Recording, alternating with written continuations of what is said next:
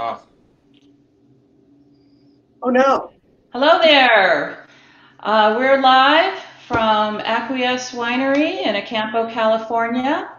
I want to welcome everyone to our event. We're so thrilled that you're here joining us today. Uh, this is our second Cook, Drink, and Learn. The first Cook, Drink, and Learn was in November with our Ingenue blend, our Clairette Blanche, and our Roussanne. Um, and we had Susan and David with us then, and it was such a big hit. Everybody has been asking for an encore. So we're doing this right before Valentine's Day. David's come up with some great recipes that would make lovely Valentine dinners. And I just want to tell you a little bit about the setup here. So the setup is not um, like a Zoom call. As you can see, it's a webinar format but we really would like your interactions on the chat screen. Feel free to chat with each other and we'll see if we can talk and see what you're chatting about. But if you have a question to ask, we're saying put it in the ask a question bar at the bottom and after we're through with our little presentation, um, we will go to questions at the end of the event and go through the, your questions and hopefully we'll be able to answer all of them. So Susan and David. I met Susan Manfull at a wine writers conference in Lodi in 2016. And she happened in our tasting room at that time and was amazed that we were making these Rhone varietals in uh, Lodi. And um, Susan wrote a lovely article about us in her um, gorgeous Provence wine zine blog. Um, and so we've kind of become friends over the years. And um, Susan has introduced us to David along the way, who has been creating wonderful recipes from a lot of the wines that Susan's been featuring. So Susan is a writer. Um, she's an educator. Uh, she has an award-winning uh, online magazine, Provence Wine Zine. She's written a couple booklets also about wine. She's traveled extensively in France and Provence, especially. She's pretty much of a rosé expert. Talked to many different uh, winemakers and toured the vineyards there. Um, and I'm thrilled that she's joining us again. She's going to be our MC today. So I'm going to turn it over to Susan pretty soon. But I wanted to also mention David Scott Allen. So he's the editor of Cocoa and Lavender, and he can create some beautiful recipes to go with our wines. And as you, if you're trying them right now, I know that uh, you'll be able to confirm that. Um, we have here set up, we've got them all made here, and I'm going to be tasting them with the wines when it's time. So without further ado, Susan, if you'd like to take over, uh, feel free. Okay. All right. Well, thank you, Sue, very much for that introduction. Thank you very much for having us. And I'm so glad that David is here as well. As Sue indicated, I, I met her in Lodi one August a few years ago. And she mentioned that I was very surprised that she was growing so many Rhone varietal uh, grapes. But what I was really surprised about was how fabulous the wines are. So we did, have, we've developed uh, what I'd like to think is a very nice relationship, beginning with wine and food. Like David, my relationship began over wine and food at a lunch one day here in uh, Portsmouth, New Hampshire. And I think, uh, I'd like to think that some of the best relationships are born over a glass of wine and some very, some nice food. Um, that's uh, a great way to get started. So I um, would also like to thank, just a shout out now for uh, Carolyn Kauser Abbott at Perfectly Provence for helping to promote our uh, webinar today. And Carolyn, I think, Caroline, I think that you are are here.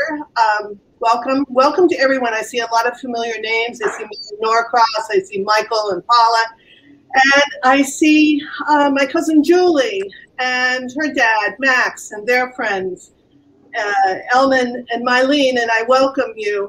Um, I'm especially glad that they're here because they, uh, my uncle and my, my aunt and my cousins, spent a good deal of their lives in Spain. And um, Spain is the likely, very likely home of uh, Grenache, which is, of course, what we're talking about today. Um, so I, oh, and I, I, also want to thank Rodney for all of his technical work, and uh, the same for Mark and David's house, and Townie in in my house. Without them helping us, I, I think that uh, it wouldn't go as well as it does. So anyway, let's talk about the wines. Um, we're going to begin with the Grenache Blanc, and that we will follow that with the Grenache Blanc Sparkling. This is a still wine, and we'll follow that with a, a, a sparkling, and then we'll go on to the rosé. Please open your wine now so that you can start tasting it. And I, um, I'm going to open our Grenache Blanc. This is the corkscrew that I like to use. This is the corkscrew that I was taught to open wine with. And it was my grandfather who taught me how to open wine. He taught me he taught me about Broadway shows and how to open wine in addition to how to live a very good life. He was a, an importer of uh, wine supplies, include, including cork. Um, so anyway, this is the corkscrew that he taught me to use. It's called a waiter's or sommelier's corkscrew. And you just simply insert it, hold the bottle, and Susan, when, you might want to lift it up a little bit because we can't see a lot of the. Oh, oh, oh, oh. There oh, you go. Yeah. Okay, Tony, can you hold this? Yes. Okay, so you get it in here, and then if you have a good corkscrew, like mine from Acquiesce Winery, you have a little lever here, which allows you to pull it up a little bit, and then you can pull it up the rest of the way. And voila! Nice sound. So, Tony, would you pour that in? And we'll get started. So do start by opening your wines. Um, you don't need to open all of your wines, uh, but if you have enough people there, I encourage you to do so. There are lots of ways to keep your whatever wine might be left over. I mean, in, in our house, unless we're opening up a whole lot, there isn't a lot of wine left over. But there are ways to do that. And I will, I think I'll hold off and show you what you can do uh, towards the end with your leftover wine. Um, because of course you wouldn't want it to go to waste. so um, get your wine out. I was just asked the question the other day of how you hold white wine or any kind of wine that's chilled. It's best to hold it by the stem, but it's your glass, so you can really hold it however you want to. But the reason to hold it by the stem is so that the wine stays at a cool temperature. So um, that's just a heads up on that.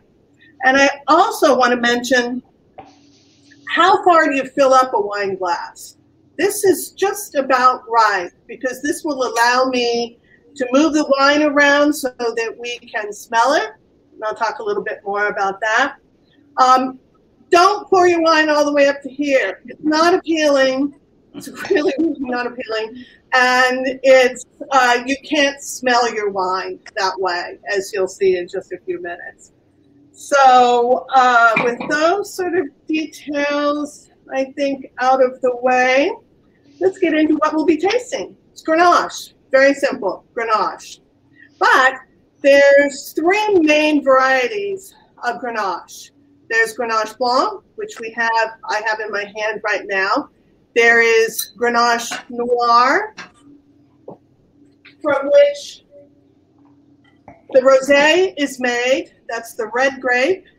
Grenache Noir actually literally translates into black Grenache. There's also a Grenache Gris.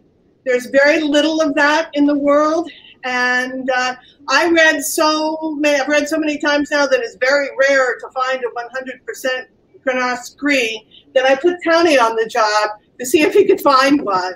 And lo and behold, we've located a couple of them. And we'll go down and get them tomorrow in, in Boston if there isn't too much snow here. So those are the three main colors, if you will, or varieties. There's the Grenache Noir, Grenache Blanc, and the uh, Grenache gris, meaning gray. But should you want to impress your friends about another Grenache, there is one in English. It would be the hairy Grenache. But if you want to sound a little bit more sophisticated, you would call it a Garnacha peluda, which means in Spanish a hairy or furry uh, Grenache. Um, I should point out now, Grenache is French, Garnacha is Spanish, and I'll get back to that subject in just a minute. The grapes aren't hairy, but it's the leaves underneath there that are hairy. And I don't think that, I didn't fully investigate it, but I don't, I'm pretty sure there aren't any 100% Garnacha Peluda wines, but, but we'll, we'll get on that for you. Um, there, uh, it's, it's likely, very likely that the wine uh, was um, first prop with, the um, the origin of the wine began in Spain, in northern Spain. There are some people who have put forth the idea that it began in Sardinia, um, but the evidence certainly is not as strong for that as it is for, for Spain. Um, it has a long history. There's some evidence that Grenache Noir uh, that the seeds and the leaves of Grenache uh, Noir uh, have been found in um, Spain that go back to 100, 153 BC. So, um, you know, who knew? I, I didn't know that. Um, so it's been around for, for a long time. Uh, the vast majority of it does grow in France now. Uh, Spain would be second. But there is a fair amount that's, well, there's some that's grown in California, and there's been a real renewed interest in it in California. It actually was, for, there's a lot of people from California, so I'll say that it was introduced to California in the 19th century, mid 19th century, and most of it was grown in the San Joaquin Valley. If you know California, Fresno, for those of you who know me, really hot. Um, but it was uh, very popular there. They made a lot of bulk wine and a lot of uh, rosé. Uh, that's not what we're doing with Grenache Noir for the most part. That's definitely not what Sue is doing. and um, it's gone down from 20,000 acres at that time to, uh, what is it now? In California, the total Grenache is about uh, 329 acres, so really not not too much. In Lodi, there's uh, combining the Blanc and the Noir, there's about 100 acres.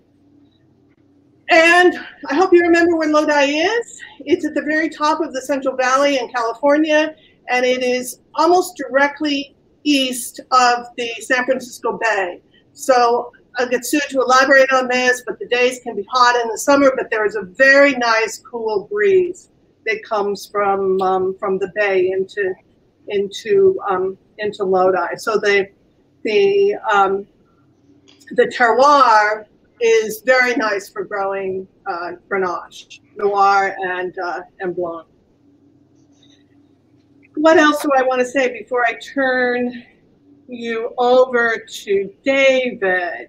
David, the, the way we're going to do this is that David, as I think you all understand, is going to demonstrate how to make one of the recipes that we send to you. And this is the one that goes with the Grenache Blanc.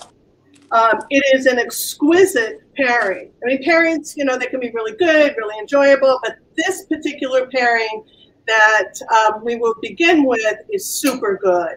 And then you have two other recipes, which he will not demonstrate today, but you can make those. I saw that Mary Norcross has her angel food cake cooling right now. So, um, and I think that my cousin Julie was going to make the angel food cake. You might wonder if you did make the angel food cake, what in the world you're going to do with uh, 12 yolks, because it required 12 whites. And David will talk about that a little bit. Um, he is going to begin with uh, feuilleté, I'm going to get him to pronounce that a little bit better, the feuilleté au champignon sauvage. And I think without further ado, David. And, and David, can you hear me? I can hear you. Okay. All All right, so you're on. Good afternoon, everyone. Uh, just a little bit of housekeeping. I am having problem with audio, so that's why Susan asked if she could hear me. Um, I've heard that you can hear me fine, but if there are questions and I miss them, I will be uh, getting off of this device and getting onto one where I can hear you better for later for more questions. So thank you all for being here today. It's a lot of fun to have you here. And I especially want to say a shout out to my family from the East Coast and my friends uh, from New Jersey and upstate New York who are joining us today. Um, I am starting with the feuilleté de champignon sauvage. Uh, I use wild mushrooms. I got a couple questions from um, through email about what mushrooms I use, and my mushroom choice is what's usually available. So it could be as simple as cremini mushrooms, which are readily available everywhere, uh, to sometimes I put in a couple of shiitakes. But today I will be using um, a king trumpet. And I don't know what you can see, what you can't, but I have a king trumpet. I have a whole pile of pioppini mushrooms, which are tiny little mushrooms that I used last time. And I have, again, a lion's mane mushroom. And it's a beautiful mushroom uh, that I get from our farmer's market. To start with, though, we have to get the, the boxes, the pastry boxes, which we call feuilleté. And feuilleté is um, a, it's a puff pastry box, basically. It's a vehicle to, to put the mushrooms in. So I have done one of my two uh, box preps here, as you can see, and I am going to make the other one. So my dough that I used is from Trader Joe's. It's 100% butter puff pastry, and um, I it does not come square. So my squares will be oblongs.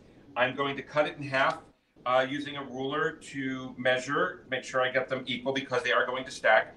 And I'm using a very sharp knife and I am pulling it across rather than pushing down. By pushing down, you end up uh, compressing the dough and you don't want to compress the layers. So I will put my first layer on my parchment lined sheet.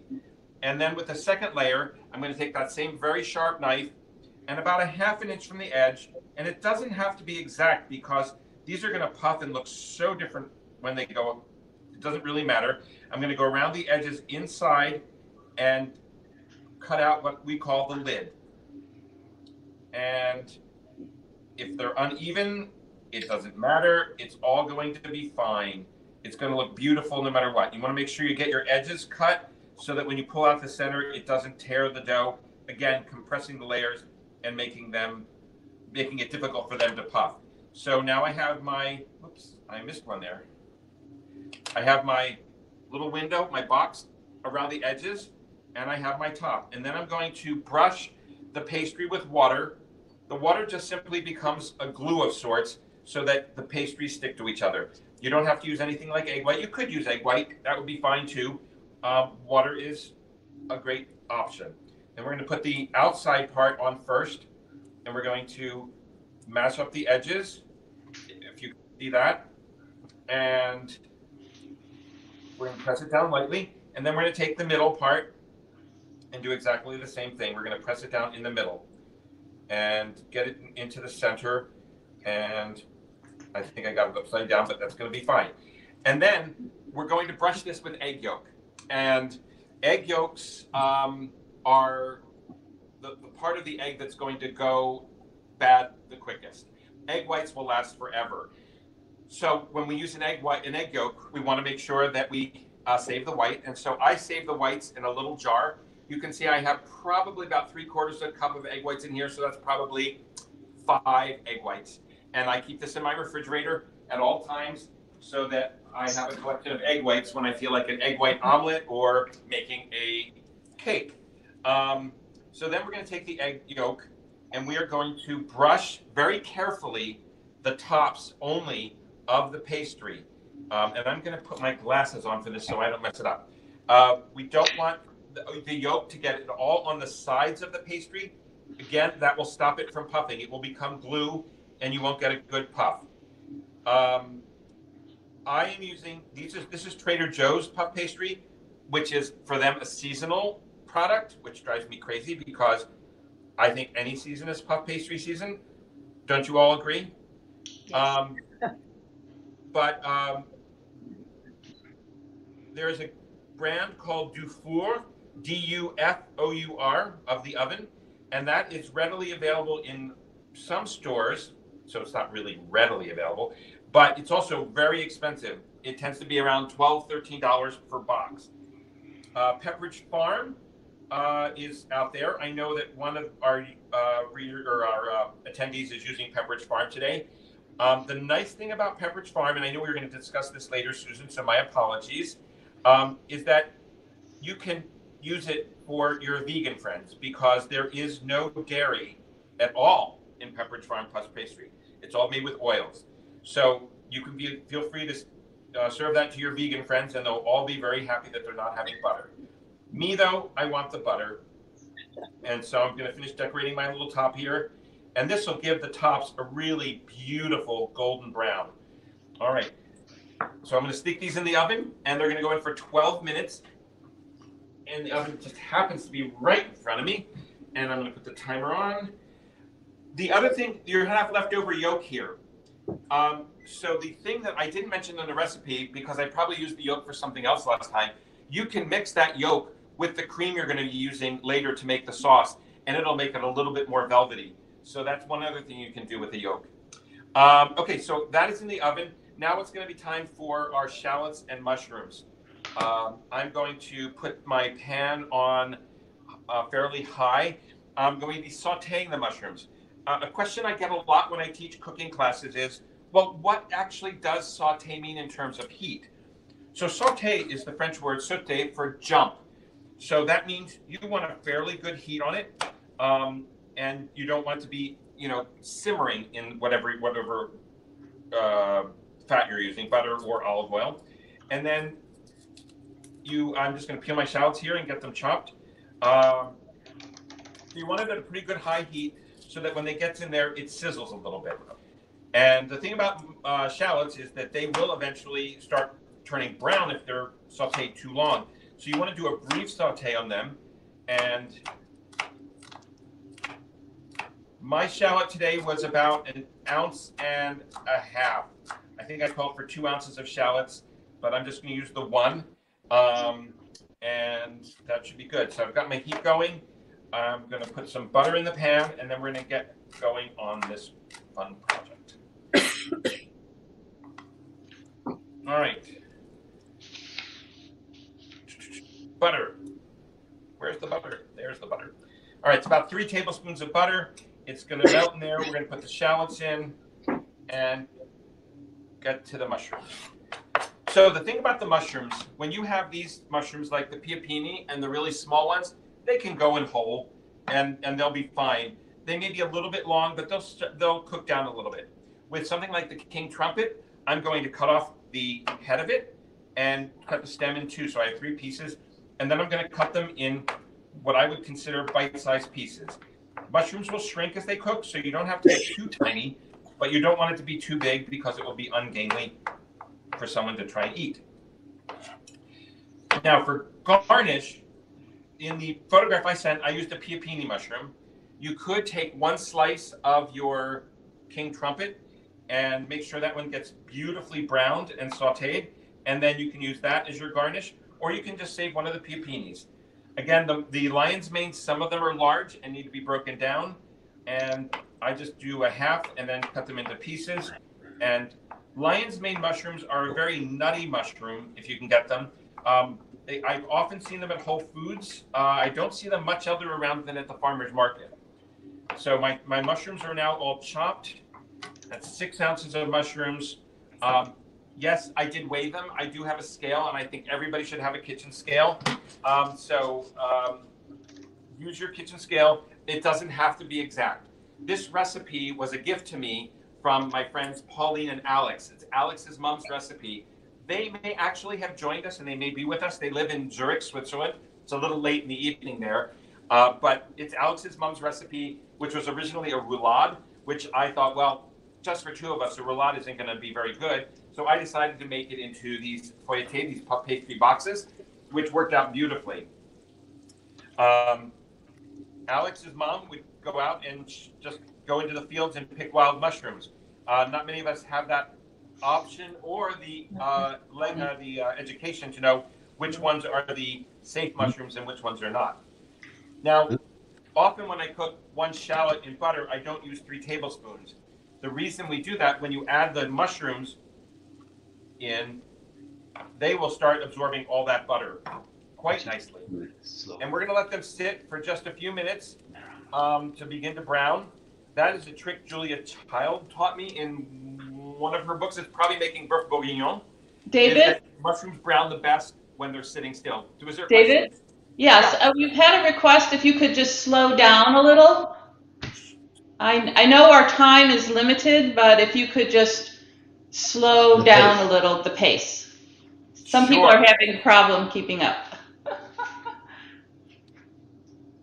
Thank you. No problem. Um, the mushrooms are now sauteing. It's going to take a little while for them to brown. And while they're beginning to cook, I'm going to add some chopped tarragon. I have about a tablespoon of fresh chopped tarragon. One question I got prior to the show was whether to use fresh or dry tarragon. Um, you can use either. Uh, tarragon is actually one of the few dried herbs that really tastes like itself when it's dried. And just a recommendation that when you use a dried herb instead of a fresh herb, use about a third of the amount to a half of the amount, depending um, that it's called for, because dried is much more um, concentrated. So you, you won't you don't want too strong a flavor. So I have about a tablespoon of the tarragon. David, my mushrooms are starting to brown. David, David, I'm gonna have to come around with the sauteing. I can't quite hear you. I'll be, I'll be. Okay, no, no, no, that's okay. That's okay. okay. I, what, what, what was the question? Well, I was just going to ask you why you chose tarragon. Ah, okay. Out of all the possible herbs that you could have chosen. So I chose tarragon because I think it's a really flavorful mushroom or herb it's a very flavorful herb. It's also one that goes very well with mushrooms, and it goes well with uh, several other things. Really, it goes very well with chicken. I love it with lobster. Um, it doesn't go well with everything, and oddly, it is not a very popular herb. There are many people who dislike tarragon. So um, I chose it because I thought it would be a great flavor for this particular dish with the cream, and uh, it goes really, really well with the wine.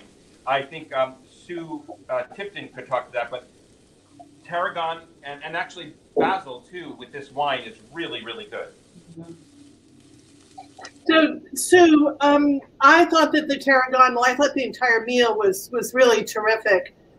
Um, are there any other herbs that could be used when we're pairing it with Grenache Blanc? Well, I find that um, pretty much any herbs go really well with my wines, but uh, thyme in particular is really lovely. You could do parsley. Um, rosemary works really nice also. So um, tarragon, I agree, is a traditional French um, herb to be used in a dish like this. I think it's just spot on, and um, I think it worked out just lovely. Me too. Terrific terrific match.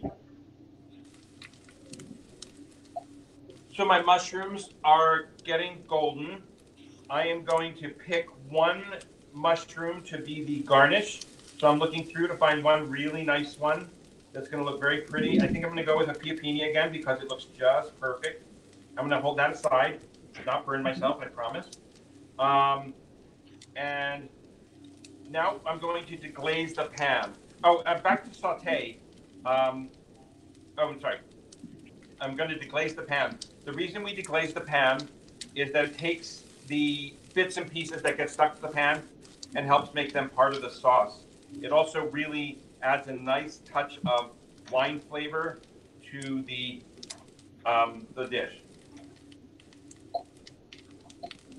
All right, so putting in the wine, sizzling, and we're going to cook this down about by half. That's a really um, vague thing to tell someone. You can't really measure what's a half. but what you're looking for is that there's less liquid, it's gotten a little thicker, and you have a really nice um, Mhm. base for your sauce. So, um, someone also asked why I chose this wine. I chose a dry white wine. Um, you don't want a sweet wine because then it could affect more of the taste of the wine you're having. So mine's now reduced quite nicely, and I'm going to add the cognac, which is, I I said two tablespoons. It's actually an ounce or the small end of your jigger.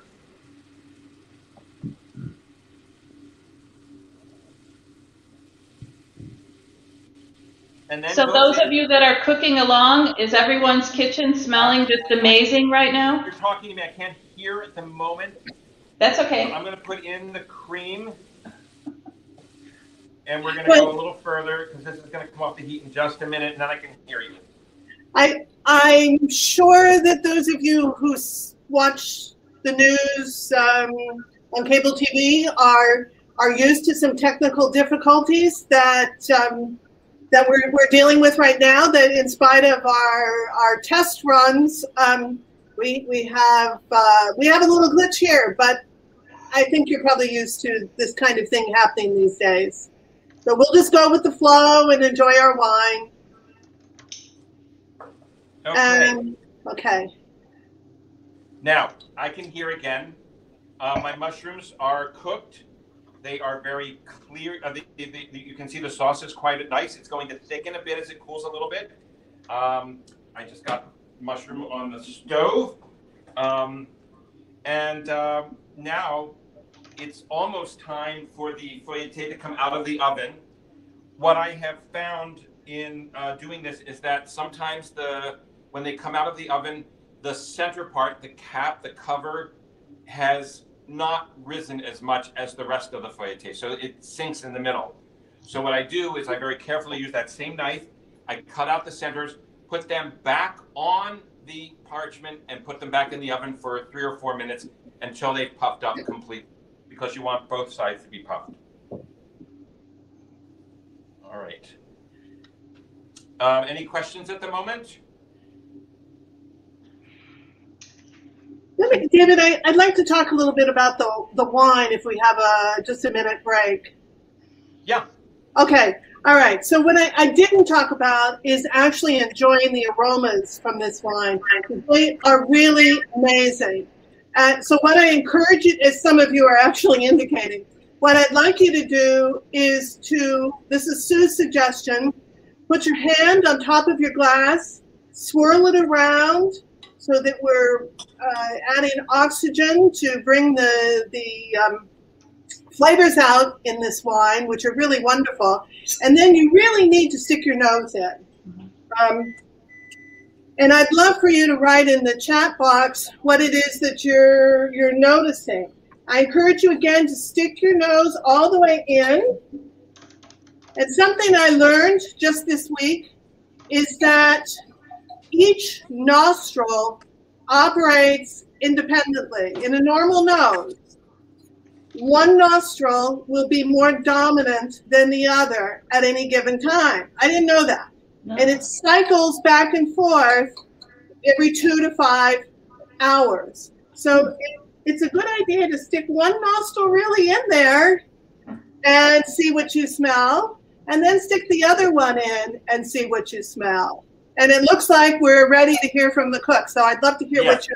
So But if you you're can see, the tasting- boxes are nice. Yes. But the centers didn't rise as I had said they wouldn't. And I don't want to burn my hand any further. And so I'm going to cut out the centers very carefully. It doesn't, it, they, they should be almost detached because of the way we made them. And then I'm going to use a small spatula, which is, of course, not there. It is. These small spatulas are one of my favorite uh, tools in the kitchen. And we're going to use that to pop out the center. Pineapple. and put it back onto the po- uh, onto the um, parchment.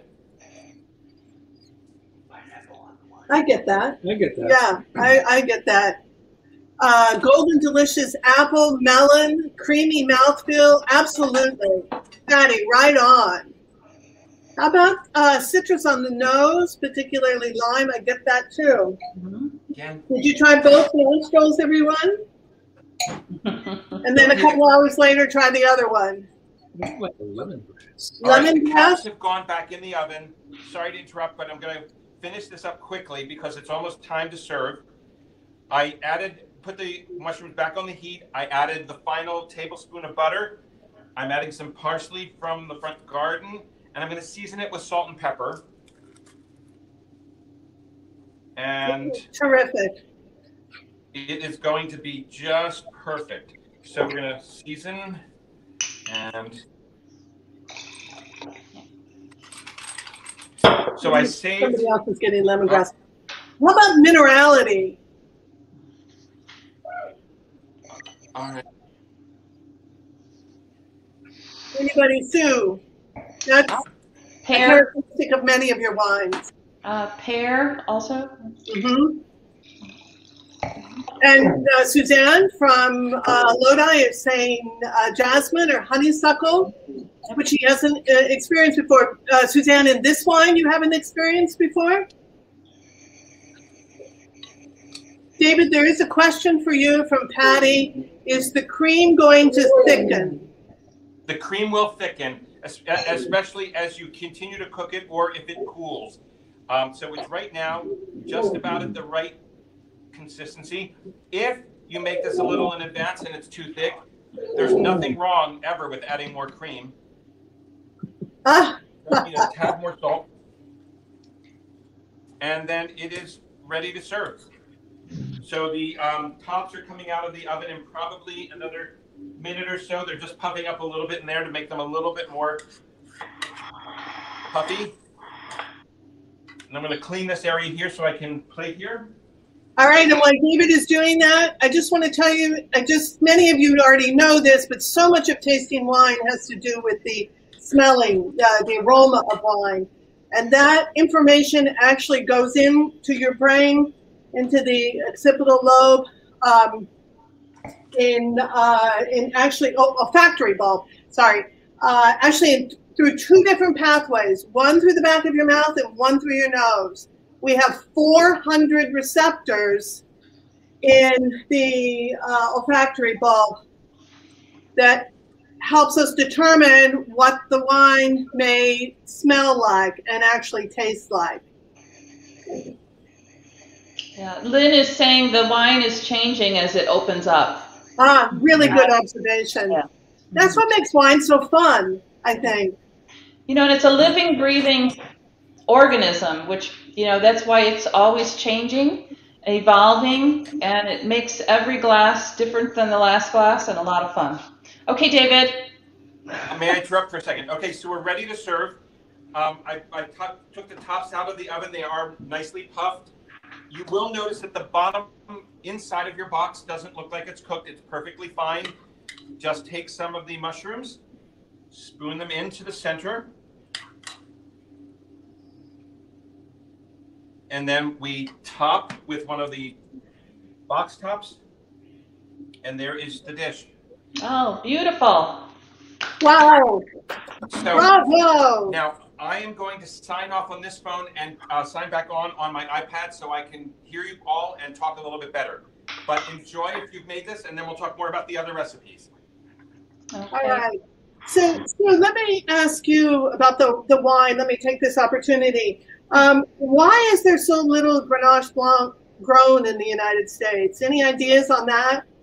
I think you know the that it's a puzzle, and um, I don't know if you remember Jon Bonné from the San Francisco Chronicle for years was always preaching why not more Grenache Blanc.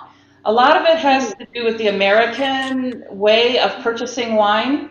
Um, they only know most Americans only know a few different varietals. They know Cabernet, Chardonnay, Merlot, now Sauvignon Blanc, Pinot Grigio, but to have a varietal that's they're unaware of is something they're not going to buy off a store shelf. So it's only the small little boutique wineries like ours that are producing these wines because you can walk in and taste the wine and then decide if you like it or not. And so since most Americans don't know what Grenache Blanc is, I mean, I remember seeing it in the tasting room. Um, people saying, "Oh, I've never heard of it," trying it, and they had the same reaction I did when I first tried my uh, Chateauneuf du Pape White. It's like, where has this wine been my whole life, and why haven't I had more of it? So. wow. So you planted your first half acre uh, each of Grenache Blanc and Grenache Noir. When was that? 2000... Uh, in 2008, we planted a half acre of the Grenache Blanc and a half acre of the uh, Grenache Noir. And our first harvest was in 2010. And we opened the tasting room in 2012. So this is actually our going into our 10th year with the tasting room open, making professional wow. wines. So, wow. So, um, I'm going to just squeeze one more quick question in until we get David back. Um, what gave you the confidence to plant the Grenache Blanc when hardly anybody else was growing it, and certainly not much in uh, Lodi? Yeah, so um, that's why we started with a half acre. Pretty much, it was an experimentation process, and we were so thrilled with it. Uh, we thought we have to plant more of it. So this is basically it's really fun doing this event with, featuring Grenache Blanc because it is our signature varietal. It's the first one we planted. We have more of that than any of the other whites at three acres. And then we also are using it for, you know, our um, sparkling wine. So, yeah. It's really super. And we're, we're getting all sorts of fabulous comments. I hope you're, you're looking at a, a few of them. I love this wine. Lovely. Um, really wonderful. And we're getting lots of compliments with regard to David's dish. David, are you there? No. David? No, he's not there right now. We're trying to get him back on since he's changed. All right. So let's um, let's see the two of them together. Those of you who have the dish, please try them together because I think there's real synergy here. I don't. I've already made the dish and we enjoyed it, and I thought it was an unbelievable pairing. Sue, what are your thoughts? It's outstanding. You know, and the earthiness of the mushrooms, the delicacy of the cream, and Grenache Blanc loves anything creamy. If it's a, a, cream sauce or it's mayonnaise or anything like that, Grenache Blanc goes really well with it. So even though Grenache Blanc has a pretty big mid palate, it has a great acidity to it.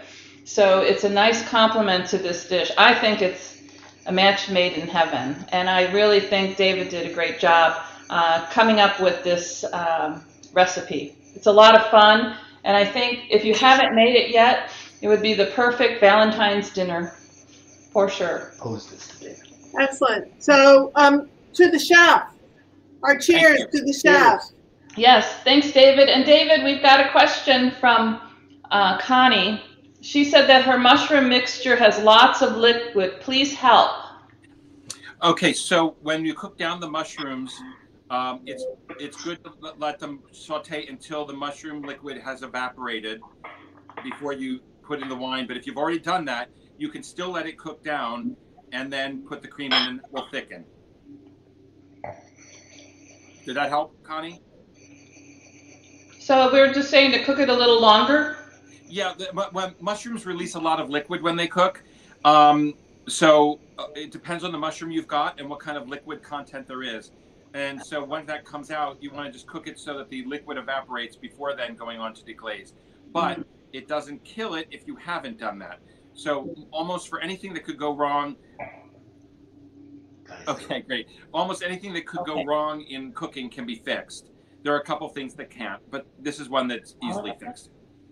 Uh, it, it's a terrific dish, and as uh, Catherine said, it's a very elegant dish. So if you have not made it or not making it now, I really encourage you guys to to do so. And it's a terrific, it's a terrific match. I think we probably. I'm trying it. What's that? What, what do you think? What do you think, David? First bite.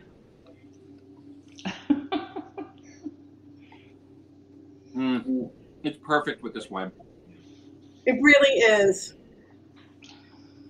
Oh, so, Uh, at the risk of um, uh, moving along, when you're still eating, David, I think in light of time, I mean, because we really could talk all afternoon about about Grenache and tasting the wines and what have you.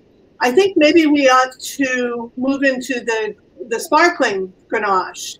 And um, for fun, you guys could see what the spark. If you if you've made this meal, you can see what the sparkling Grenache tastes like uh, with this particular with this particular dish. Um, David paired the dish with uh, a souffle, either individual souffles or a large souffle, which really, again, is an excellent pairing. Is uh, we've made those two, and so here is the Grenache Blanc, the sparkling wine, and I'm going to have Tony open that. I get to open it. Yes, you get to open it. and I thought I forgot say. Um, Can I say a, a, minute about the about the souffles? That it's um, this is Jacques Pepin's mother's souffle recipe, and it is a, a, really spectacular recipe, and it's very easy and it's very forgiving. And the the cheeses you use can be changed, and that can help you choose your wine pairing as well. Good point. And David, you were talking to me about how it, the, the cheese may taste quite differently with a given wine once you've cooked it. Absolutely. Um, I'll, I'll, use blue cheeses as a really great example. Oftentimes, blue cheeses are much harder to pair with wines than non blue cheeses. But when you cook with blue cheeses, there's something chemically that happens that really um, changes their flavor and their pairability. Their pairability. Okay. All right. Well, so uh, this is a safe way to open up a sparkling bottle. There you go. Another nice sound. I'm going to go open okay. mine. I'll be right back with it. Okay. Okay. So here we go. So Susan said that was so easy. About to try to play with the sparkling. So I also made the souffle. And so I've got a little piece of it here to try with the sparkling. And the souffle was super easy to make, just super easy. Really? In fact, it was so easy, I thought we must have been doing something wrong. It was so incredibly easy and delicious. And I see that there's another Susan who's talking about how, how easy it was to make. Mm-hmm. And she's going to, she's about to try it with the sparkling wine. Let me, um, will Sue try it, and then I want to talk a teeny bit about the sparkling wine. How does it go? Really nice pairing. And you know, the souffle has got a lot of cheese and eggs in it, so it's pretty hearty, and the sparkling just lifts the meal, I think. So the souffle is excellent, but the sparkling complements it nicely, I think, with the minerality and the nice acid burst to it. Uh, goes really well. And the souffle, too, we tried it a week ago it does really well if you put it in the refrigerator and pop it in the microwave the next day for mm-hmm. lunch. Right. Mm-hmm. Um, I wanted to say that with the souffle, I just remind you that, as David said in his recipe, you could make the the um, small version, and if you made the small version and ramekins, for example, um, I think that that's a really it's a nice uh, uh, appetizer, something to begin your meal with and then move over to the feuilleté. So we didn't do it in that order um, now, but that's something that, that you can think about. Um, I want to raise our glasses to Sue on uh, this wine, although we could do it with all of them. But this wine just won a gold medal in the San Francisco International Wine um, Competition. She has quite a few gold medals under her belt. Actually, the Grenache Blanc that we just had, that won a silver medal at the same competition. Um, this is these grapes were picked in 2018 and um, spent some time turning into champagne, shall we say? Mm-hmm. Uh, and then were just released over this past summer. Uh, so, do you want to say just a few words about how you did this? Just very few. Because this yes. is a very special sparkling wine. We can't call it champagne because it's not from Champagne, but it is made like a champagne would be made. Right. So it's a real special process. We pick these grapes earlier than we pick the Grenache Blanc grapes for our still wine. So they're picked earlier so they have a really nice acidic bite to them. After the wine is completely finished, they're put into the wine is put into individual bottles. A little sugar and yeast capsule is added to it. Uh, it's capped off like with a beer cap, and then it's riddled where it's mixed up. So you're mixing the sugar and the yeast and the wine together, and then it rests for a, quite a long time. So minimum one year it will rest, and then um, in this case it was about 14 months, and then um, we do a dosage trial. So we go and we take off the beer caps and try the wine to see if it needs any. And um, this wine was pretty complete in the bottle, so we added just a little bit of a dosage, but uh, we wanted to keep it a nice dry wine. And then at that point, it's um, capped with your traditional champagne cap. And so we released it in July, and uh, we haven't been open since March, but uh, we've already sold 60 cases of it. So I think that it's um, showing quite well. It's it's really spectacular. How many cases did you make this year? So there were 300 uh, cases of wine. So we hope that they'll last for another. I want to get the exact, but uh, 335 cases. And so we're hoping they'll last a little bit because it's a over two year process to make it. And so we didn't make any uh, in 2020. So we're hoping it lasts us a couple years. So well, it's just terrific. And I want to tell everybody who is listening that this is, in all likelihood, the only sparkling Grenache Blanc in the country. In fact, I think we're pretty sure about that. And it may be the only one in the world. When I um, put some information out about this on my Instagram, a couple of French wine writers said, sparkling Grenache Blanc, wow. So you're really drinking something very special. Yeah, we actually had um, a winery owner from Spain here about a year ago. And him and his family had been growing Grenache Blanc for generations, and they had never heard of a sparkling Grenache Blanc, and they were really happy to try it. So it, it's a lot of fun. It really is. It's it's, it's super good. Um, we're getting, uh, someone has said that they're getting honey on the nose. I get that. Again, a lot of minerality in, in my mind. Anything else that, that, that brioche is what I get on it, like a, a brioche bread. Yeah.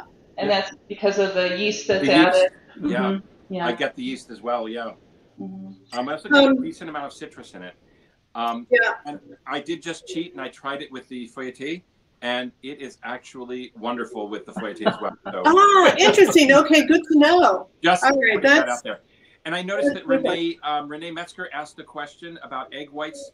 Um, I'm assuming Renee, you're talking about the souffle, and you could make the souffle all with egg whites, but it will be a mm, uh, drier souffle. It'll be much more. Um, it'll be less rich. It'll be spongier. But you could definitely try it. And I've never made it with. I've never made anything with cartoned egg whites. So if anybody here has had luck with egg whites from a carton, please put that in the chat for Renee because I only have used fresh. So, um, so before we move on, and I know we need to move on, but I was wondering if you could just talk a little bit about cheeses that might go with sparkling wine, because I think sometimes people don't really think about matching cheese with sparkling wine. Yeah, so one of my favorite cheeses with sparkling wine is a triple creme from France. Um, I think that the richer the cheese, the nicer it goes with the sparkling. Um, but sparkling wine is very much, oh, look at that. Is that a triple creme right there? Yes, there yeah. A camembert? and uh, we have a goat cheese, and then did you get a, is that a Gruyere or a, a Comté? Gruyere. Gruyere. And then Chèvre. Ah, so how are those going to work? Yes, yes, and really, sparkling is very much like rosé, and it goes with anything. Really, there's very few things that a sparkling or a rosé will not pair with. Um, I don't really know of anything actually.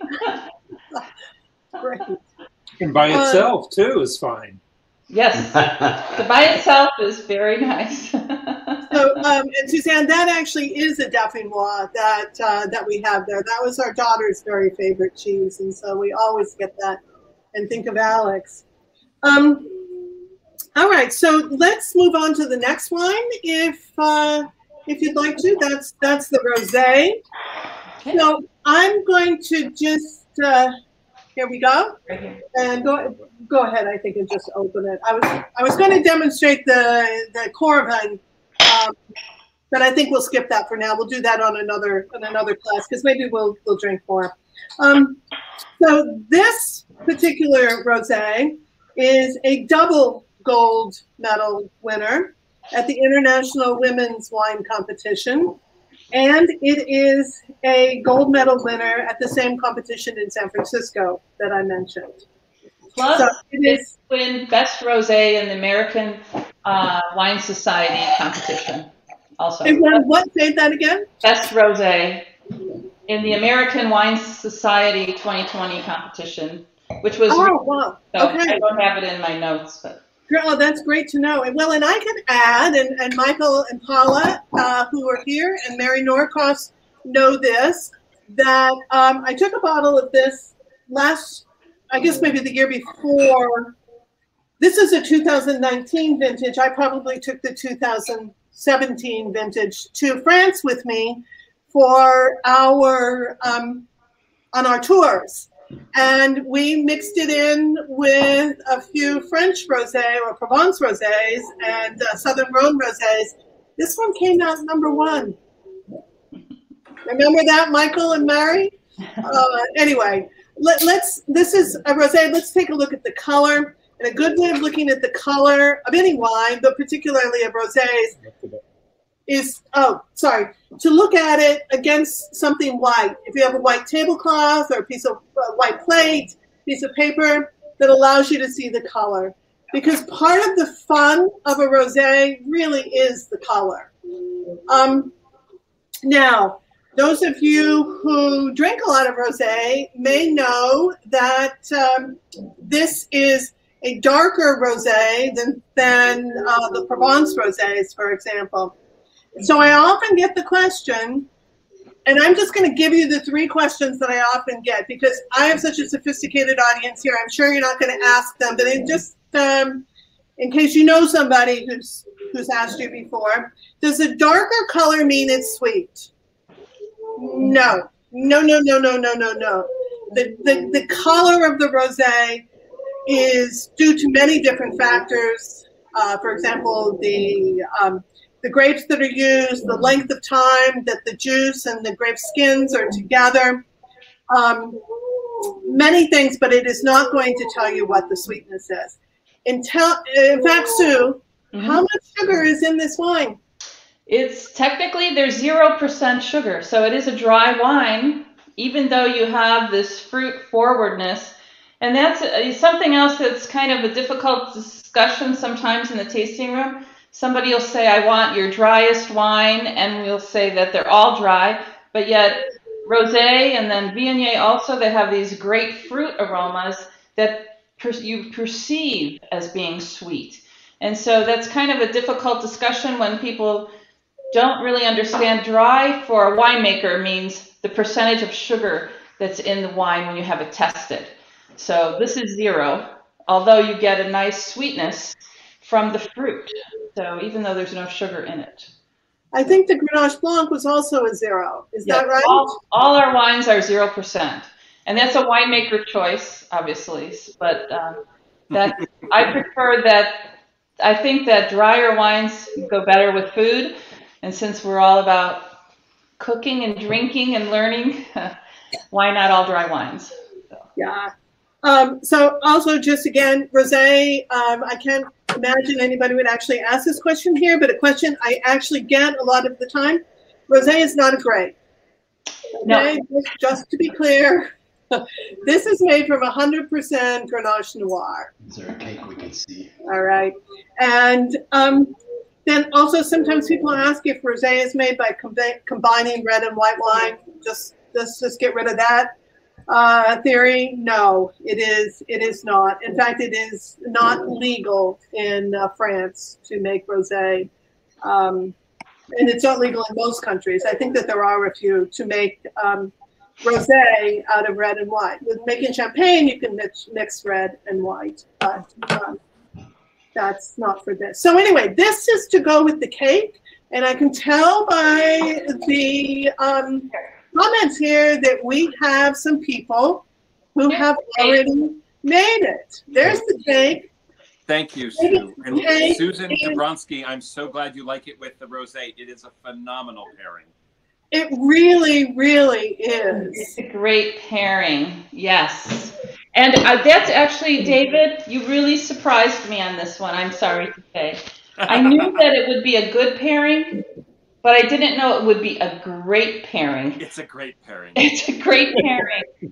and per your suggestion, we used, and here's, I don't know if you can see, this is with the oranges and the sauce on top.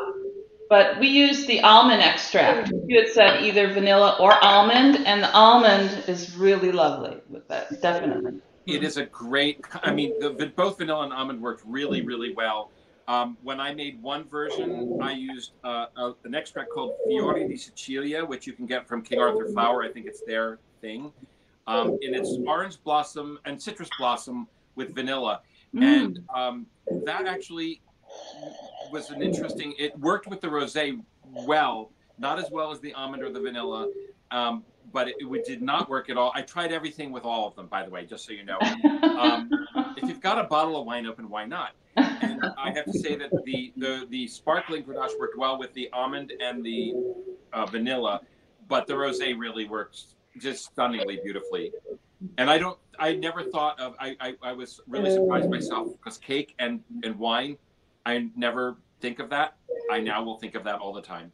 Yeah, yeah, it was. It, it is a really great pairing, and you know, I typically will in a winemaker dinner. We typically have the rosé as part of the dessert, and that's always a, a stretch in some cases, depending on what that dessert is.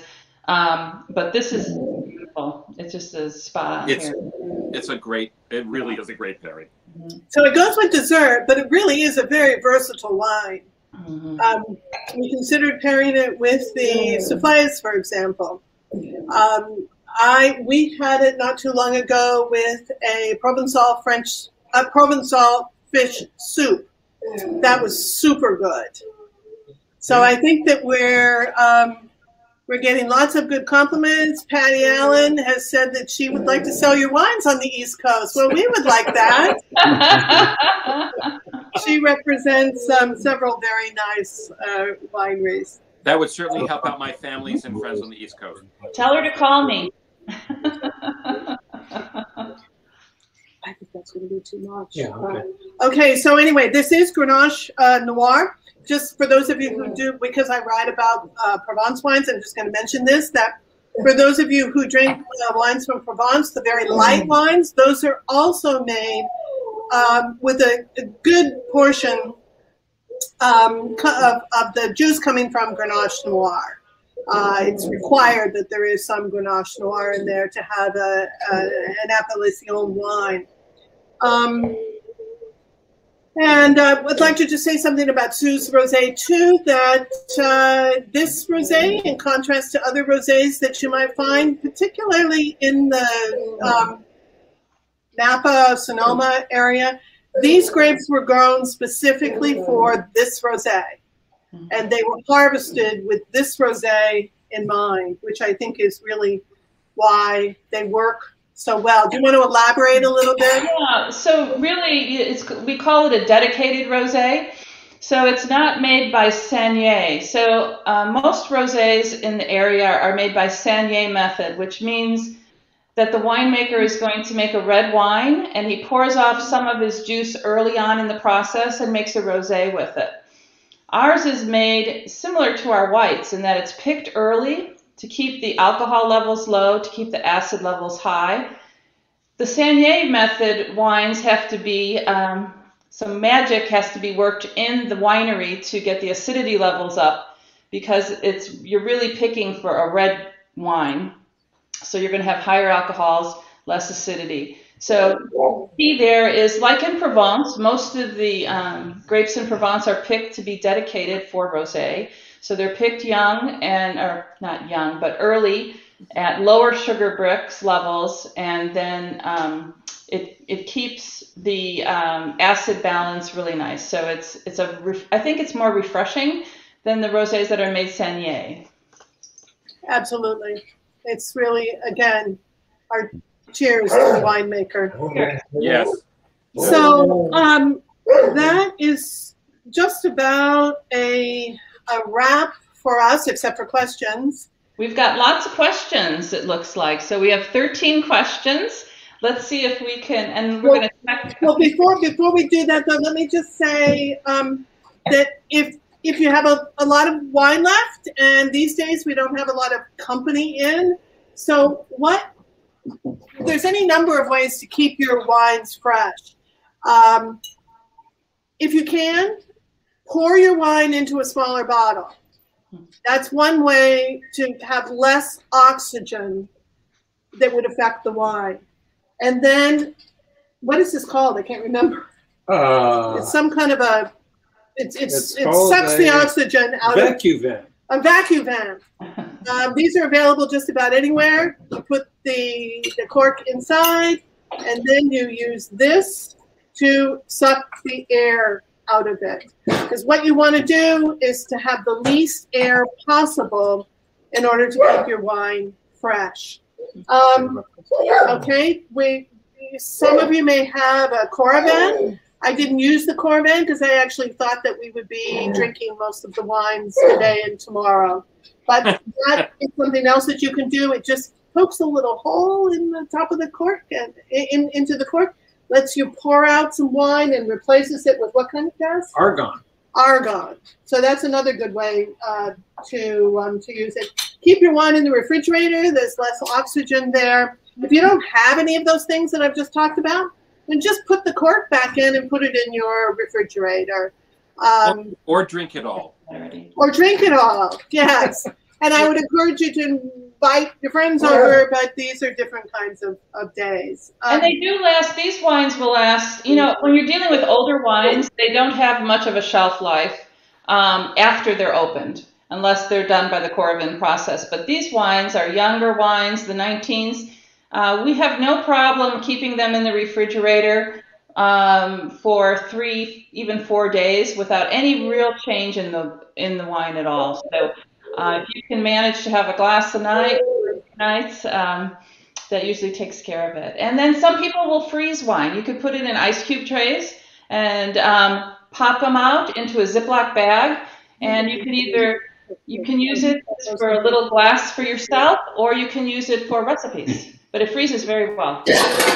Yeah, uh, you know, on that subject, there are um, there are these things that you can get you keep in your your freezer. I don't know what these are called either, but they're frozen, and they allow they you can you can put them in your glass to make your wine Wine. the wine pearls colder if suddenly you decide you would like to have a glass of white wine, choose white wine or, or the rosé. Put them in. This will this will make it um, colder without adding any water. What Sue's suggesting is also a great idea because you're adding rosé back into the rosé.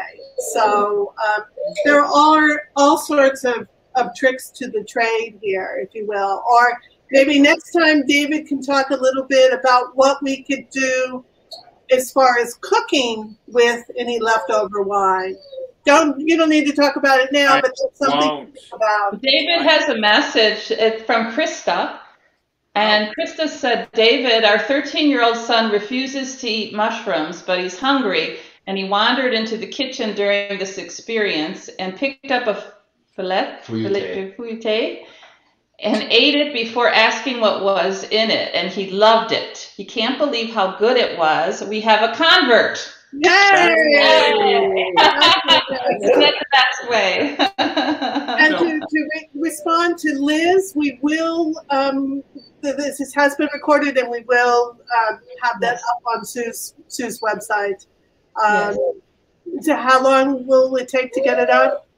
How long does it take to get it on. Um, Instant, it's instant. It's instant, so you just use the link that you used to sign in today, and you'll be able to get that. And then, then I'll also put a blog post out there uh, with the link.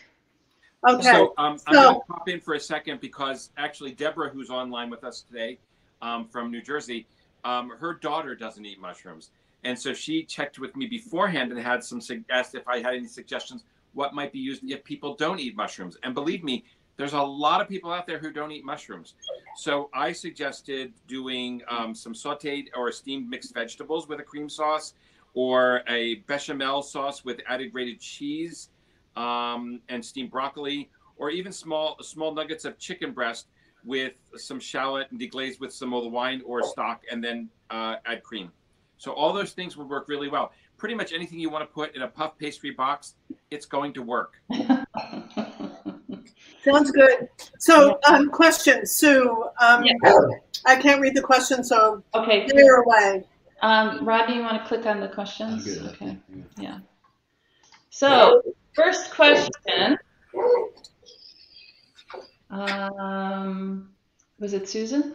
Unsalted butter. Oh, Susan. Okay. Uh, unsalted unsalted butter in the recipe. Is that what it was calling for, David? Unsalted butter. Yes, I, I, you know, I can't remember what I put, but I always use unsalted butter because the salting of butter was meant to preserve it.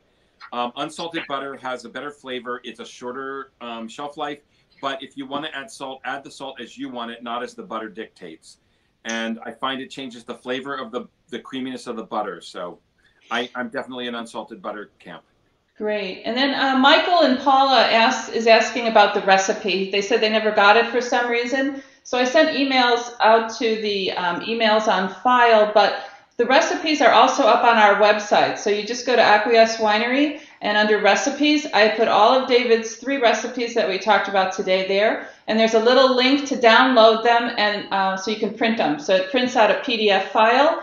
So you, uh, it's very easy to print it out. Um, from your computer. And then let's see, my citrus sauce for the cake is not getting syrupy and it's been simmer, simmering almost an hour.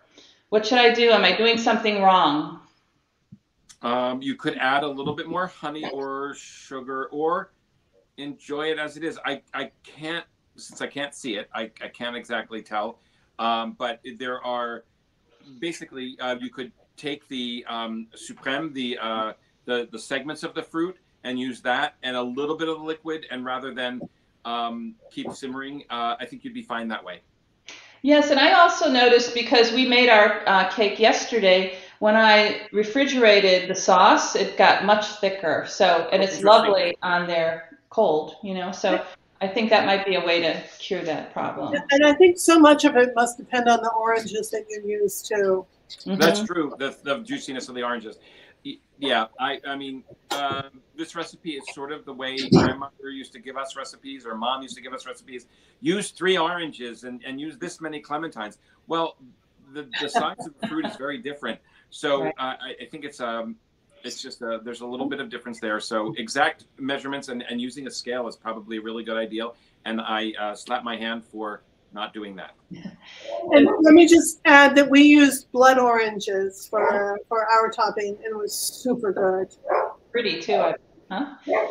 Yeah. So, David, um, there, uh, uh, Lisa is asking, are you using heavy cream or cream creme fraiche for the sauce? You could use either. I used heavy cream because that's what I had on hand, but creme fraiche works just as well. Um, by the way, a note: if you cook your sauce too long, it will begin to separate again, and you'll get your um, the separation between the cream and the butter. So you don't want to have it sit too long. So then, um, the Kelly would like to know why put the centers back on the boxes before cooking since they don't puff the same. Why not just put the centers on the baking sheet separately? I have done exactly what they suggested, and the puff pastry can um, cave inward if it doesn't have the support of the center box part. So Mm. th- I- it's a very good question, and that's why I did it that way. Uh, Um, the first time I think I did it, the sides puffed up and puffed in, and I didn't want that. I wanted them to puff outward or at least straight up. Great. And then um, Peter and Sue wants want to know, David, they didn't catch what to do with the leftover yolks, and I know you have great suggestions for that. Oh, there. Um. So. Um. So first of all, I often think of doing this kind of dish in reverse, because as I said, I whenever time I, I use a yolk in a recipe, I save the white. Um, but if you're going to make the cake and you want to make the cake and you have, when I made the cake last time, I made it three times this time around. Um, the last time the eggs were such that the whites I only needed ten, but I used ten yolks to make pasta. So it was just yolks and flour and a little bit of salt. Um, you can use the yolks mixed with some egg or what, depending on the recipe, to make lemon curd. Um, it's great for thickening sauces. Um, there's We made creme brulee. creme brulee. Rodney made mayonnaise. Mayonnaise. Or Oh, mayonnaise, yeah. Mhm. Uh, Mayonnaise. tartar sauce. Yeah, exactly. There's any number of ways to use um, the egg yolks, but I usually go in the other direction because usually I need an egg yolk for one thing, and then I end up with all these extra egg whites. So I usually go in reverse and make the cake after I have enough egg whites. Mm, that's a good idea. Yeah. I mean, I, let me just say also, if you have dogs, um, dogs really like the egg yolks as well. We cook them a little bit, and they really Well, like. they don't understand you talking to the screen either. one other thing, one other thing is you can actually preserve your egg yolks. Um, Rodney and I talked about this last time. You can pack them in salt for several days, and they will become kind of almost hard boiled from the salt for the curing. And you can grate them on pastas or on salads. Um, you can also there's a recipe, I think it's from the New York Times, where you cure them in soy sauce, and you can then make sort of a sushi based on sushi rice with topped with the egg yolk. And last time I did that, I made um, soy sauce pearls to go with them, and it was a really great uh, appetizer. I, oh, I made also soy sauce and um, sushi vinegar uh, pearls. Mm. And let me just uh, shout out what Suzanne is saying: the hollandaise sauce. Excellent idea. Yeah, great idea. And I'm going to still answer questions, but I was remiss in talking to um, some of the people that joined us um, David and Evan from Chicago, and uh, uh, Gail and Jimmy from Chicago, and my son Marshall from Portland is on the call, and I just wanted to do a little shout out. But then I'm going to talk about um, I uh, see who is I don't know who asked, but um, they added some stem baby tomatoes to the oven to roast alongside. It really added to really added to it. Oh, that sounds like a good pairing. Yeah. So is that with the souffle or with the feuilleté? I don't know. that's it, Maybe yeah. they'll have to answer that one. Was it the souffle? Yeah, we'll have to see if they want to answer in the chat bar. So By the way, you um, mentioned Sue using the leftover souffle the next day, and it was really good. Um, I- I know this sounds kind of crazy, but leftover souffle chilled, sliced, also makes really great little tiny um, hors d'oeuvre sandwiches oh, with, with a little bit of bread. It's really, really good. wow. Interesting. Yeah, perfect. So Peter and Ka- uh, Peter and Sue want to know if they change the mix of herbs to change the wine pairing. How can they? How can they Mi- change the mix of herbs to change the wine pairing? And I can tell you right there, and I'm sure David has some suggestions, but uh, we tried the souffle two different ways. Um, today we tried it with rosemary instead of the Mm. thyme and parsley, and it does completely change the pairing experience, but it's really lovely. So the Roussanne would also be is a great pairing with um, the rosemary. What we've done little pairings in the tasting room. We always use rosemary to pair with the Roussanne. And I, I would agree. You can use all sorts of different herbs. The one herb that I don't find works well in this souffle is basil. Mm. Um, I've used tarragon, I've used thyme, I've used rosemary. I use a mixture, and doing a mixture is perfectly wonderful. Um, and in that case, you might use a little.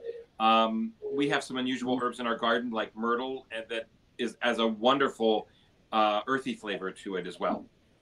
And then let me just chime in and say, I think that's the the fun of this to discover what works, maybe what doesn't work.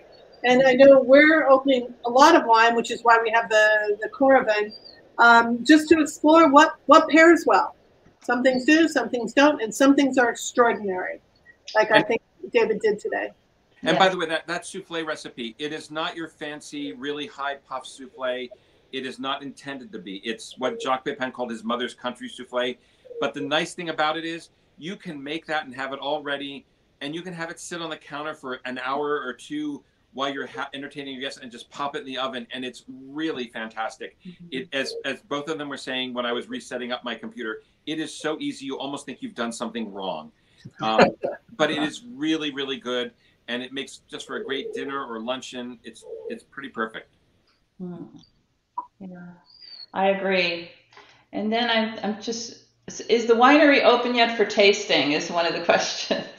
Uh, not yet. So uh, we're working on it. We hope to be open uh, early April right now. Um, under the conditions in San Joaquin County, we're not able to open inside, which would be our preference, um, since weather is very iffy right now. So um, we're really hoping after we've finished with bottling in March that we'll be ready to open um, in April. Whether it's inside or outside, we will see.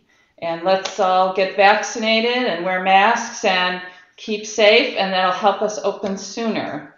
Um, so, could David, Susan wants to know, could David talk about the process of deciding the food to pair with a certain wine? How do you go about it? So sometimes thank you susan. Sometimes i go about it um, it's it's sort of like the egg yolks and the egg whites you know, which came first the wine or the food? And i have to go both ways sometimes and figure out um, what i want to know about either. So um, when i write for susan manfull on the provence wine scene once a month um, and sometimes i will have a wine that i don't know. I have one bottle of it. I'm going to use it that day. I don't know that much about it so I, I research it. I find out about the grapes in it. I find about what is it more this or more that, and I, I and I trust the winemakers. Thank you, Sue Tipton, um, for the information they can give you on what to pair with your wine. I often find that, and and Sue and Rodney are amazing because they give you lots of options. Many wineries will say this is good with fish, but it's actually good with so many more things. But if you know your grapes and what they're going to work with, that's how I go that way. In the other direction. I, I sometimes will make a, a, a food item and I'll I'll just start thinking what I, you know you just sort of think what would I want to pair with that? And um, you know it, it's really pretty intuitive for me but um, I'm happy to take questions if anybody has questions ever. But I have to say these two women are probably the best people to ask if you if and you can find them both online. Anybody who isn't a wine person is happy to help you find a pairing for the for the food you're making Yeah, like I, I tell people in the tasting room, unfortunately, we have to drink a lot of wine and eat a lot of food to come up with these pairs. So we're willing to sacrifice our extra pounds for the greater good. You are I a was just gonna. I was just going to say something similar to that. I- I mean, it really it's practice, and, and I I know that I still find it a little intimidating, um, but it's practice. Yes. For sure. So But you know when you've experienced it. yeah, There's you no, know, you know, you when know you have when a perfect works. pairing, it's like very the, the obvious. feuilleté and the Grenache Blanc still, whoa, it was amazing. And and the other pairings are super good too, but that one is is real synergy. That it, to me, it makes the food taste better. It makes the wine taste better. It's it's um, it elevates everything. For sure. Bravo. By the way, Susan Manfull, I just noticed that we're like almost um, photographic positive negatives of each other. And I, I told Sue that I, I had a pink dress on, thinking of, of Patty Lornell, who's, who's on here, who used to wear a pink dress when she poured the, the rosés at the Provence, uh, Provence in the city. And so I was going to have a pink dress on, but it was sleeveless and pink, and it just didn't look nice. Okay, so I've gotten a couple of requests that Red needs to make a camera debut. Okay, Tommy, What's can you lift up Red? Yes. Can you guys hear him? Red is the most wonderful dog. Susan may disagree with me. I love Red. Red is a great dog. Red is a Glen, Glen Eagle. Is that Glen of Imaal Terrier. Glen of a Now, Mall- you that's right. everybody. Say hi. Cute. Oh, hi. He's an Irish dog. that? And he doesn't like it when he's not the center of attention. So now he should be happy. yes, yes. I think there's a couple more questions. Let's see. Um, Rodney's scrolling How to preserve sparkling. Oh, how to s- conserve the s- preserve the sparkling wine? Do you do it like the wa- uh, the uh, still wines? It's a little more difficult. Yeah, it is more difficult, but there are Yeah. stoppers that you can get, Patty Larnell. Uh, this is one I'm happy I'm using right now. Uh, yeah. Yeah. So do you have, do you sell those there? Hmm? Do you sell the the? Um, no, but we usually give we give them away to people that decide to open a bottle in the tasting room, so they get a, a it's a special cork for champagne uh, to keep it going, and it really we have have had it like three days in the refrigerator with this top on. It keeps the pressure inside, so that's the the problem with sparkling and saving it. You just have to make sure that you're able to keep the um, the the gas inside of it. And to do that, you need a very tight fitting uh, topper for it. So, Can I ask? I'm going to ask the, the the truly plebeian. Oh my God, David! I can't believe you asked me this question. Question. Susan's already frightened. Um, when I was young, and I'm talking 45 years ago, I was told by putting a uh, a a uh, stainless steel spoon in, and honestly, I- it has sort of worked. But I'm wondering if it's just good good sparkling wine and it just lasted. yeah, I, I, yeah. Is there I any I was reading about that the other day, and I don't know. Maybe it's psychological. Is, I- I mean, is there any science to it somewhere? I, I don't know. I never asked. Yeah. Um, I let's let, let's investigate that. Mr. All right. Google. I think the simplest So- solution is to finish the bottle. Yeah, simplest solution is to finish the bottle, and And- I, I don't. no, that's why people, I think, you know, they use sparkling to celebrate. It's not just because it tastes so great, but you're going to have people over to share it with normally because you want to finish the whole bottle that evening. That's the ideal way to drink it. But it will last a few days in the refrigerator with the proper cork in it, cork stop. So, um, Lisa Harper is saying I could not resist opening the Grenache Blanc before the webinar. I paired it with a Portuguese cod stew, and it was fantastic. Email us. Awesome. And Rodney wants to know, Lisa, if you'd email us the recipe. Stu at av-wine.com. You know she's related to us. Oh, did you? Really oh, she is? Okay. Yeah. Yeah, So she's a terrific cook. Uh, All right. So, um, Yeah. are we Yeah. should we wrap up?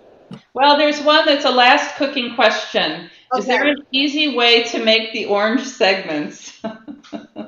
Um, you know, uh, okay, so um, I don't know what you've done, but this is how I do it. I uh, slice off the top and I slice off the bottom, and then put it flat on and use a very sharp knife to slice off the outsides, and then I hold it in my hand and go on one side of the segment, and then flick the knife up and go out the other side of the segment, and it keeps the membrane. It, the membrane is strong enough to to to keep the knife from from cutting that usually and it just gives you kind of perfect segments. yeah, and uh, Rodney wants to mention that Jacques Pepin has a great video about how oh, to great!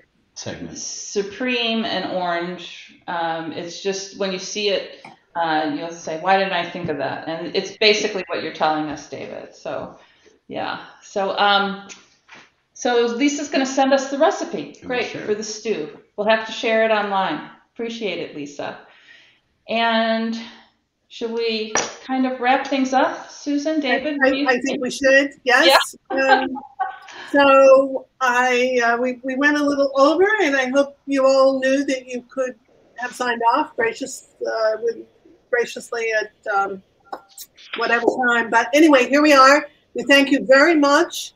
Um, really, thank you, Sue, for making this opportunity work for everyone with your wine. David, thank you for coming up with the the brilliant pairings. And thank you all for coming. It makes it so much more fun when there's a lot of people there, and you're asking questions, and uh, we're so glad that, that you're that you're here. Um, and I think And I, Our next date, don't forget, Susan. We're Yes. thinking about the Sunday before Mother's Day. So mark your calendars if you'd like to join us again for a Cook, Drink, and Learn 3.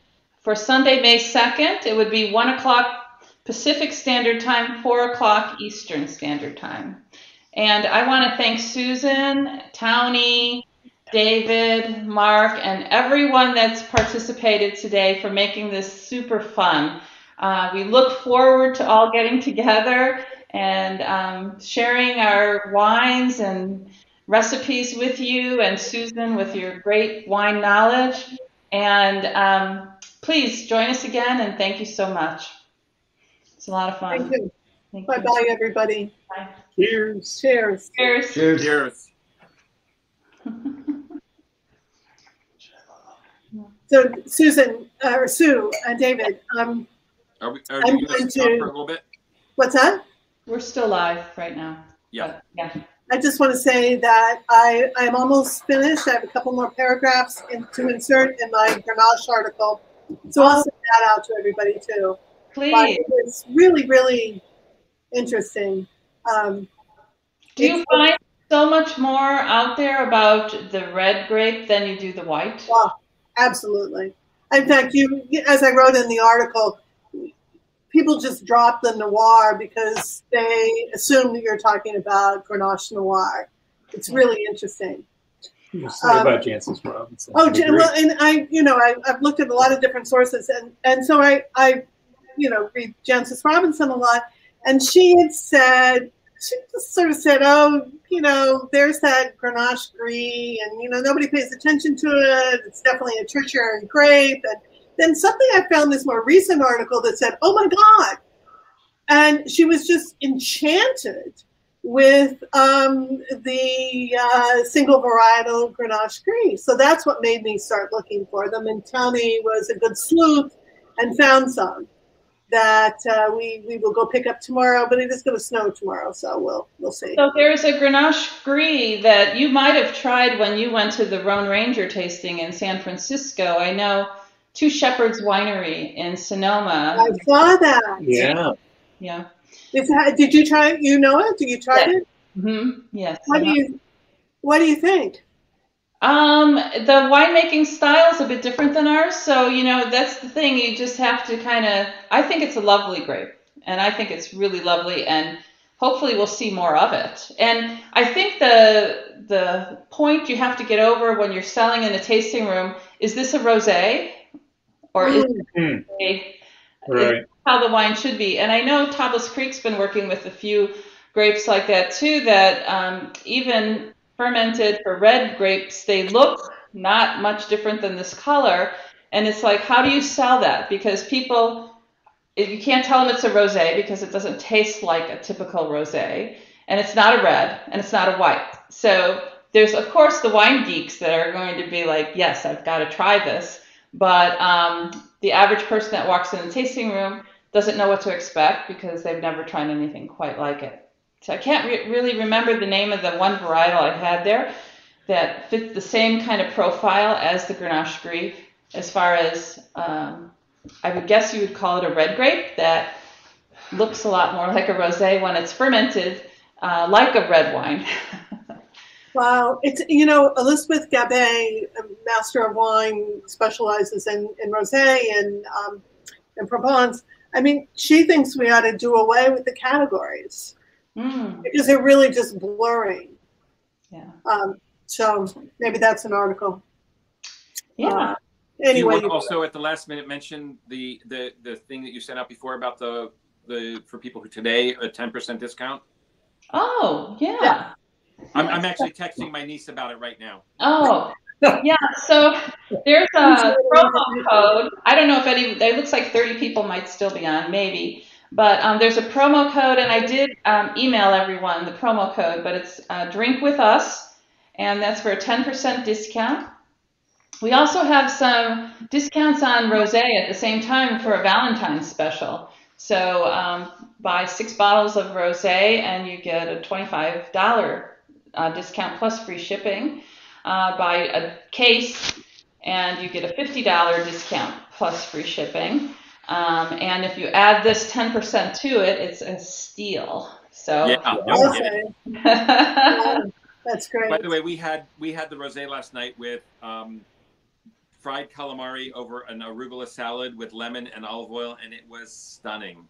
Wow. Good dinner. Oh, nice. Wow. Wow. Hey, hey, Dave, David, I have a question for you. Yeah. On the uh, angel food cake, Yes. in the recipe, you say use a bottle and turn it upside down so the top doesn't flatten. Yes. And Sue and I went back and forth and back and forth. What does that mean? She's like, "What? This?" And I'm like, "So the top doesn't get flat?" And she said, "That's But not the just top, sit the the, bottom." if, you, if you just sit the cake out and you let it cool, it will deflate in the pan. But if you turn it upside down and have it on a bottle of wine or a bottle of whatever, um, the the top will stay there and it will not deflate. But Sue's argument is that's not upside down, that's right side up. It depends on how you serve your cake. But Well- like our cake pan though had little has little legs on It's it a it's a tapered to keep it. shape, right? So Isn't David, it? you are talking about putting the top on the bottom, uh, on, That's exactly right. Yeah. So when when you when you take the cake out of the oven, you've got a pan with a hole in the middle and a cake in it. Yeah, where's the top? That's the top. You turn it upside down and you let it sit like that. Cool. Yeah. So how do you serve the cake? top or bottom. Depends on my mood. I'm not gonna get between you two. can I quote you?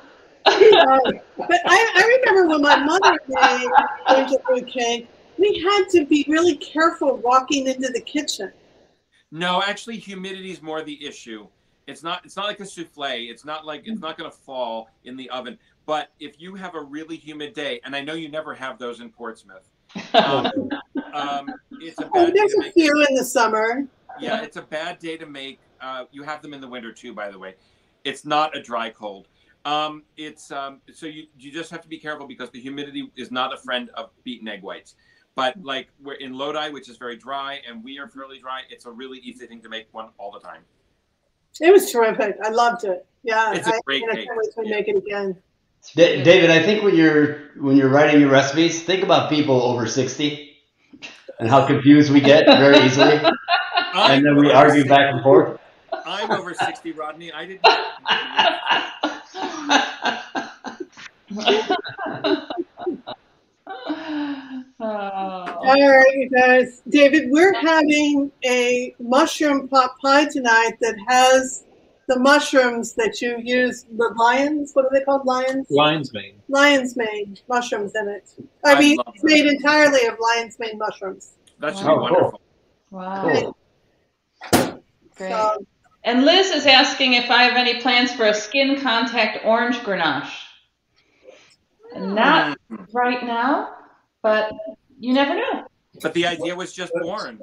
The orange wines. The orange I, wine. I wouldn't call it an orange wine.